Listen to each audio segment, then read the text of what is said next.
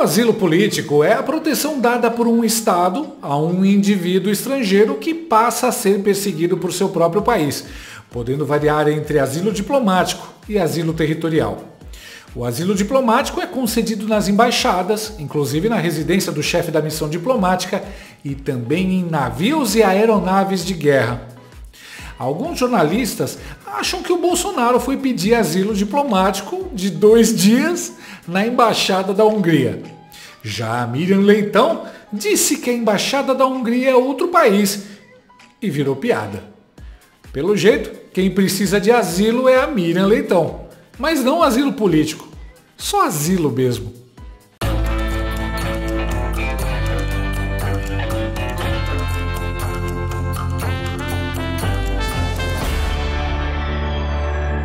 A ex-jornalista, ex-guerrilheira e ex-amélia Miriam Leitão deu entrada no pronto-socorro do Hospital Alvorada em Brasília com uma severa crise de hérnia, causada pelo último contorcionismo insano dela.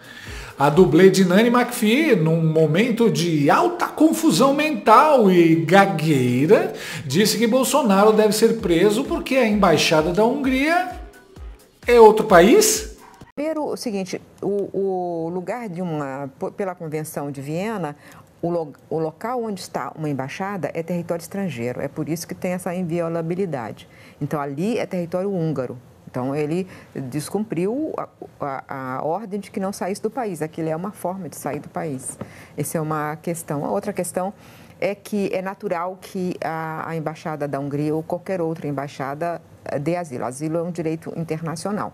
Se ele foi lá pedindo alguma coisa, pediu para permanecer ali, é, é, negar é que é ruim dentro a, até dessas convenções, da ideia de que asilo é um direito que todos têm. Né? Mas ele não está sendo perseguido, portanto, não é um perseguido político, uma pessoa que tem que prestar contas à justiça. Isso é uma outra discussão. O, a pessoa que recebe o embaixador húngaro, ele não, não tem que discutir as motivações, isso é, essa é uma questão é, importante. Outra é que ele foi, ficou um pouco e desistiu né, e saiu, mas aquilo é realmente um, é um pedido de abrigo naquela embaixada. Então ele tem 48 horas para explicar e tomara que ele não é, é, ele não faça pouco da inteligência dos brasileiros, porque explicar que ah eu gosto de passear em embaixadas, ficar lá uns dias hospedados, porque para falar com outro país você não precisa de falar com nenhum outro governante, indo para a própria embaixada e se hospedando travesseiro, é, pizza, entendeu? Não existe. Então assim é, é o que o, o, a defesa de Bolsonaro tem que fazer é, ser mais, é, mais transparente e não, ser, não, não, não, criar uma ideia de que uma resposta como essa que o ex-presidente deu faz algum sentido, isso ofende a nossa inteligência. É, é quase um deboche, né? Por favor, se alguém conhece o psiquiatra da Miriam, avise o sujeito que está na hora de ajustar a dosagem dos remedinhos. A Miriam deve ter lavado o cabelo na máquina de lavar roupa, saiu com uns parafusos a menos e foi direto para o estúdio da Globo News falar esse absurdo. E a gagueira?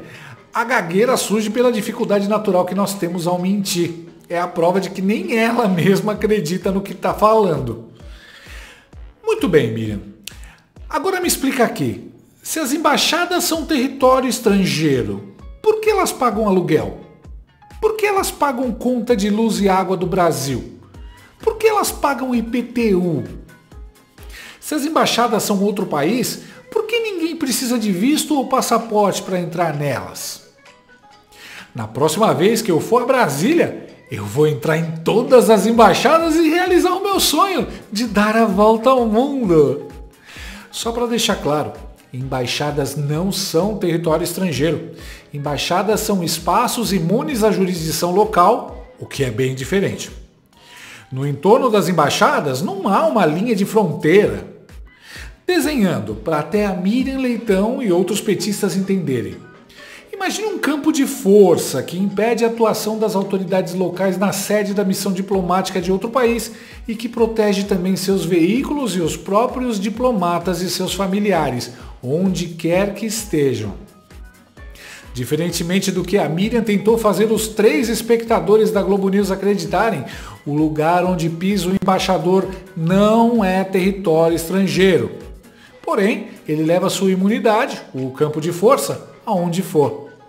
Embaixadas têm o princípio da inviolabilidade pelo Acordo de Viena e tratados internacionais, mas não são território internacional, continuam sendo território brasileiro. O governo brasileiro não tem jurisdição dentro de uma embaixada, mas pode solicitar a retirada a qualquer momento.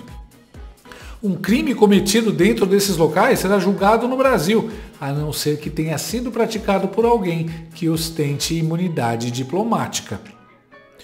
Além do mais, desde que visitou a Embaixada da Hungria, Jair Bolsonaro esteve na Avenida Paulista,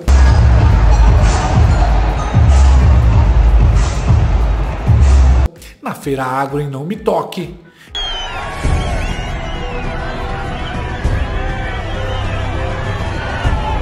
em Salvador,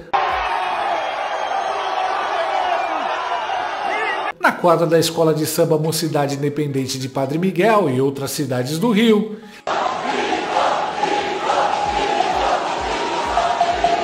No Acre.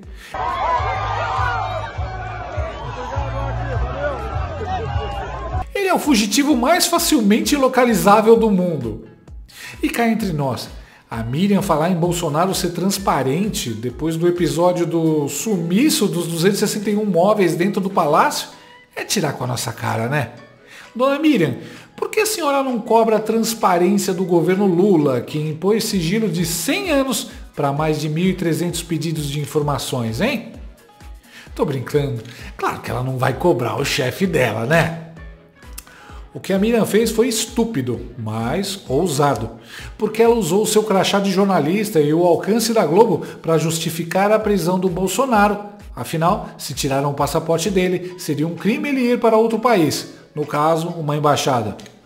Por sorte, o povo brasileiro não é tão burro quanto ela imaginava e não só a desmentiu imediatamente, mas fez chacota com o que ela disse.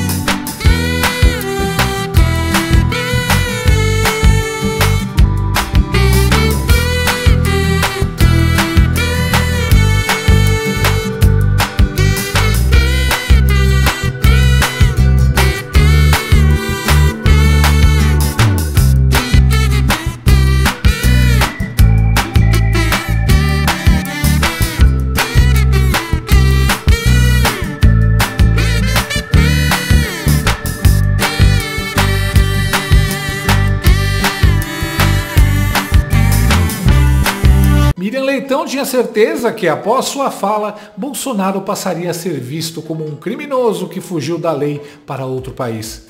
Mas o plano deu ruim e ela é que ficou sendo vista como uma fugitiva de hospício. Por favor, alguém dê um asilo para Miriam. Um asilo para quem já ficou senil. Olá, aqui é Miriam Leitosa, seja bem-vindo ao Lorota News. Eu trabalho na Globo e é claro que vou dizer que a tragédia econômica é boa para manter meu emprego. Eu trabalho na Globo e é claro que entendo como é bom um país com censura estatal. Eu trabalho na Globo e é claro que só tem notícias positivas sobre o Lula. Gostou desse vídeo? Então inscreva-se no canal, comente, curta e compartilhe com seus amigos. Não gostou? Compartilhe com seus inimigos. Até o próximo vídeo, se o mundo não acabar antes. Por hoje é só.